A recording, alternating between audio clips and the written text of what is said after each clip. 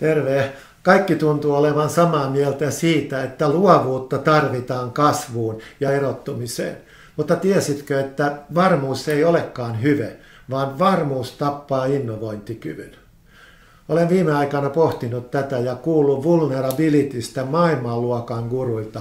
Jos yritys on täynnä vahvoja yksilöitä, vahvoja mielipiteitä, silloin suurella todennäköisyydellä innovointi surkastuu. Nimittäin heti kun joku ehdottaa jotain uutta, joku voimakkaampi tyrmää sen.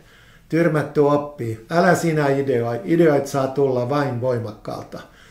Voimakkaalla ihmisellä on itse asiassa harniska päällään. Hän peittää oman sisimmän epävarmuutensa, suojaa hauraan egon kovalla kuorella.